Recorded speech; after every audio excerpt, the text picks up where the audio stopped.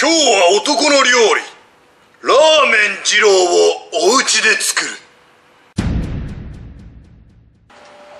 まずは豚ガラを下茹で。豚ガラが煮立ったら一度取り出して水洗いする。洗った豚ガラはトンカチで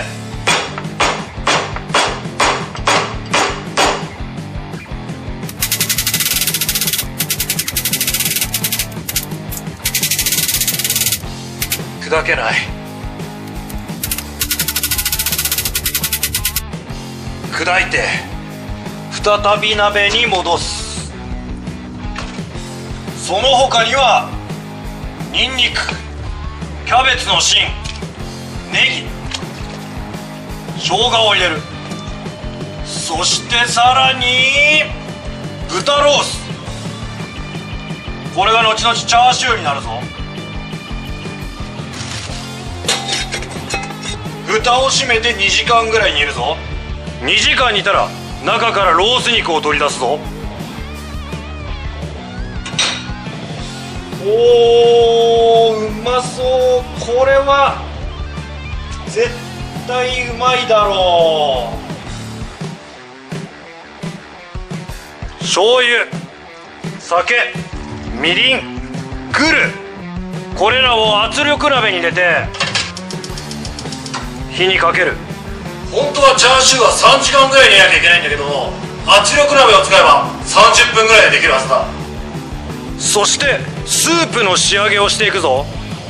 ラード背脂を入れる。あっしこのまま2時間ぐらい煮るぞ。オッケー！スープとチャーシューが完成だ。そしてそう麺。麺は俺考えた。ジロの麺は平たくて太くて硬くて重い。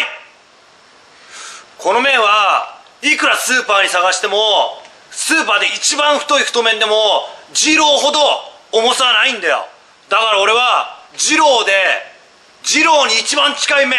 それは何かって考えた。そしてたどり着いた答えがほうとうほうとうは平たくてコシがあって重い。このなこの丼の底からこう重くて割り箸じゃすくい出せないほどの重さがある麺は何だって考えた時にほうとうになった。これで二郎がかなり忠実に再現できるはず。さあ見ろ。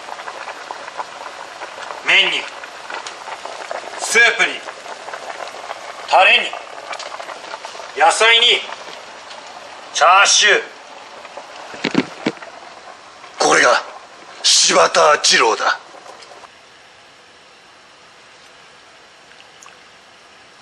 そしてスープ。麺をよ入れて。野菜。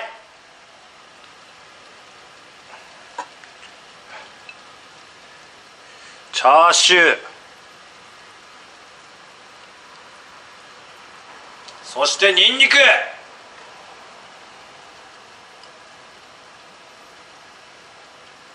まあこれ完成家次郎俺の魂のこもった。一品だ。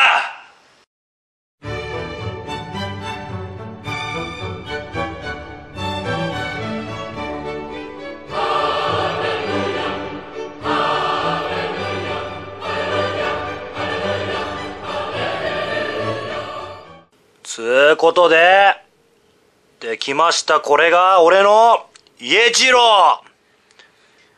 今日は俺の唯一のリア友、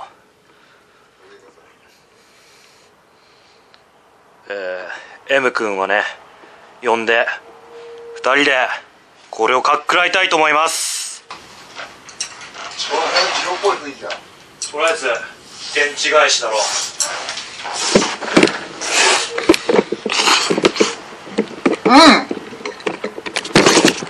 うめえ。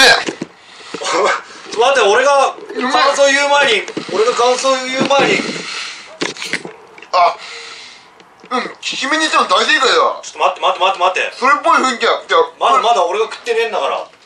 ジロっぽい雰囲気が出てるわ。ちょ待てよ待てよ。あうめえうん。おい。これ二郎じゃん。うん。うかなり近いでしょ。めえよ。かなり近いでしょ。そのまんまだよ。うん。あほうとう麺をうん使ったの大正解だわチャーシュー食ってみてよチャーシュー、ん。チャーシュー食ってみて。これね俺さっき食ったけど相当うまかったよ。うん。これ味がついてるわ。うまい。いやこれめっちゃうまい。チャーシュー。じゃあ二郎成功に。はい。乾杯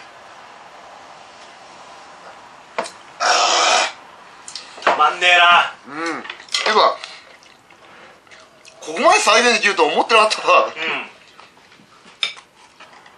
うまっ。うん。